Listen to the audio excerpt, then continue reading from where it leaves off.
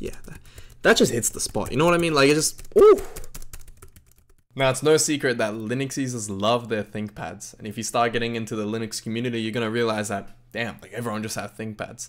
It's like how so many people will have like MacBooks because they're just like like normies, you know, normies who have MacBooks. All Linux users tend to have ThinkPads. It's just the rule. It's just the rule.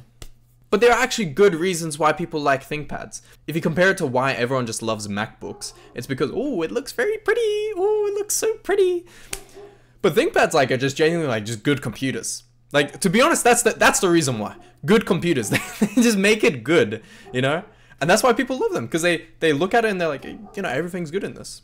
But here are the five like core reasons why Linux users love ThinkPads. And number one is the most obvious reason is that it works well on Linux. You know, most ThinkPads, although again, like like it's a hit or miss on certain ones. You know, something will not work on this one, but on the other one it will work. You know, it kind of depends. However, in general, it works way better on Linux compared to most laptops. Compared to let's say you want to use a MacBook on Linux. Good luck. Good luck, especially if it's a newer one. It's just a pain. It's a pain. It's possible. It's not impossible, but it's a pain. Certain things will just not work, and all the benefits of having a MacBook you lose from using Linux. So it's just like, uh, you know. Again, other laptops will just simply struggle on Linux. No, again, it's a hit or miss. Laptops are a very annoying thing to get working on Linux. Computers tend to be alright, you know, if you have it plugged in. Like, again, it, really depends on your setup. In general, normal desktops are fine. Laptops, bit of a pain. I've put Linux on two different laptops. One was, it was a HP. Yeah, it was a HP. That was such a pain. It was such a pain. The biggest thing is always the Wi-Fi card. The Wi-Fi card is just good luck. It's it's so annoying. But most ThinkPads, especially old ThinkPads, tend to work fine. So as a result, it's just a lot easier to get working from the community because often, you know, these laptops just lose support you know, for these certain parts. And because they're proprietary, like they're just doomed. They're doomed to never work or with ex- without extreme amounts of just messing around with it. So in general, that is the main reason. And also, this is not true on the newer laptops, I believe. However, on older laptops like the X200, which is like a classic, that's just like the most beloved one. That one, that one, or maybe even, oh, actually, I don't know. I think that one, or maybe older ones, you can run it on Libreboot. Essentially, to put it simply, is just like everything on there is FOSS everything. Every single pro, there's not a single amount of proprietary software on it. So if you're really into that, then you can achieve that with older ThinkPads, which is not possible on most newer laptops. So it's very hard to.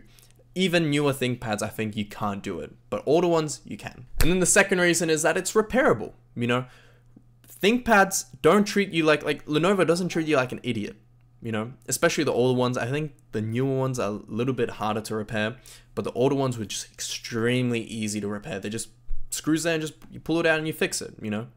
It was fine. It's not like Apple, you just you just can't. You literally just cannot. Even if you did, you trigger something that would essentially say, no, you can't use your laptop because XYZ, because you touched it, you shouldn't touch it.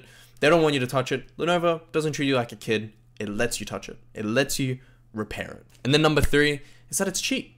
In general, ThinkPads just tend to be cheap, especially used used old ThinkPads, because a lot of people they'll have Windows on it, and obviously it runs like crap.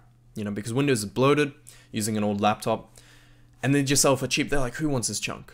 But Linux users do, because Linux users buy it up. They put on like a very lightweight distro. They put a lightweight, you know, they just keep it clean. They keep it minimalist, and then it runs well. Like it, it runs like a new computer. It works perfectly fine.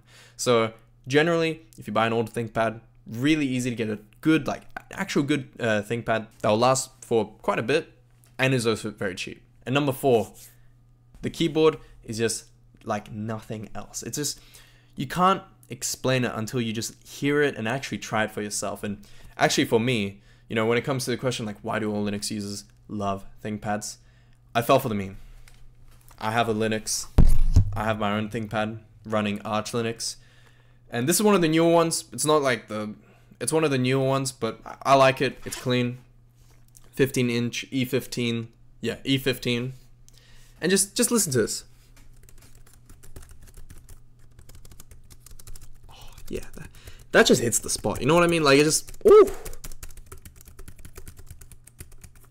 Yeah, beaut, beaut, beaut, beaut. Honestly, I've used I've never been the laptop person, but I've used laptops before most of the time the keyboards are just horrible. They're just disgusting. But even this one, even this one with the new keyboard, it just still, yeah, it's just beautiful. Like it's just, it's such a nice keyboard. Just like, you know, it's got a thock to it.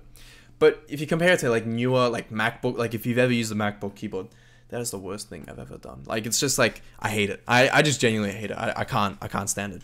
But especially just newer laptop keyboards, just horrible. The older the older ThinkPads I think also have like really I think that those are the ones that everyone loves. Like that's even better than the one I have. But you know, I'm happy the one I'm happy with the one I have, but especially the older ones, they have amazing keyboards. And then finally, durability. To be honest, there's so many clips of like water tests, of electrical tests, like, you know, it's insane. The laptop is like a tank. It just, it's a beast, you know, it just like, it, it withstands anything. You really can't, it's hard to just kill it, you know, compare it to, and it's also, because it's cheap, like, even if you do, it's like, whatever, you know, I'll just buy a new one. It's not like a MacBook. You gotta like treat it like a baby. You gotta have all these like cases. It's like the ThinkPads. You can just chill you can just chill. It works. Maybe we'll get a scratch. Oh, okay, but it's literally gonna work. Like, it'll be fine. You could probably shoot a gun to it and it still work somehow. Just somehow. Like you could literally shoot it, shoot it through the screen, and it'll probably be fine. but yeah, that's about it. Those are the five, I think, biggest reasons why people like. Um, I was ten. Five biggest reasons why people love uh ThinkPads. Even me. Overall, just you know, works well on Linux. Is repairable. It's cheap. It's got an amazing keyboard. It's just durable.